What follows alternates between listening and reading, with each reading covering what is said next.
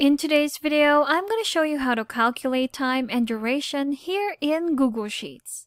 So we have our data set right here where I'm going to try and figure out the clock out time for my employees using their clock in and the hours that they've logged in. And I'm going to do the same thing by calculating the duration, this time using the start time and the end time. And before we get started, don't forget to format your cells. For example, for our duration column, if you want to format this in duration, all you have to do is go to Format, select Number, and then click on Duration right here just under Date and Time.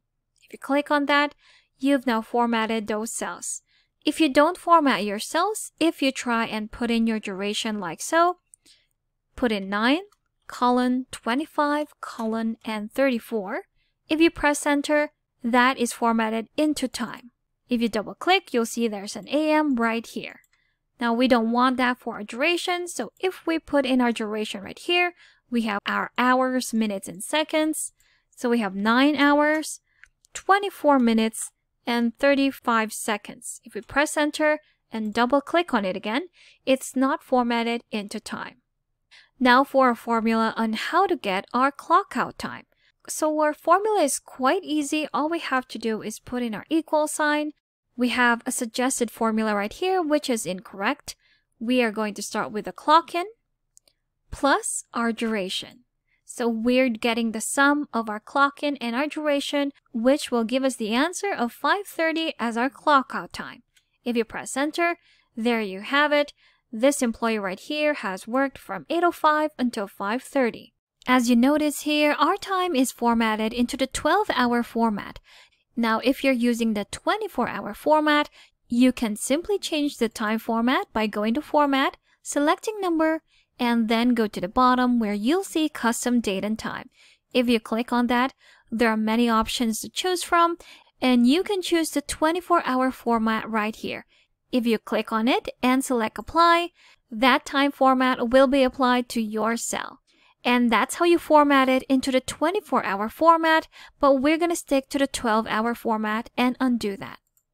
Let's try that again. We have our second example right here. We have 9 hours. And you'll see that we have 64 minutes. Now, if we try and put that in, 0 seconds, if we press enter, that 60 minutes has been carried over to our hours, which turned our 9 into a 10 and the remaining 4 minutes.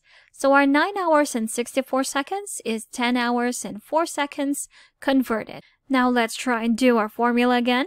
Start with your equal sign. And now we have the correct suggested formula, which we will just click on.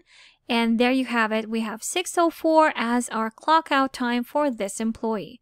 Now, if we fill in the rest of our data, we have here the different sets of duration. And if we just double click on this part right here of our clock out time, it will fill in the rest of our data. So that's calculating time for this particular example. Let's try and do our duration. So I'm just going to copy this clock out time right here, paste special and values only. So to calculate for our duration, all we have to do is start with our equal sign, deduct our end time to our start time. If we press enter, we have the duration of 9 hours, 24 minutes, and 35 seconds, which is the same right here. And if we double click on this, we have filled in the rest of our data and we have successfully calculated the duration using the end time and our start time. And that's how to calculate time and duration here in Google Sheets. Thanks for watching. If you found this video helpful, do leave a like and subscribe for more helpful videos. See you on the next one.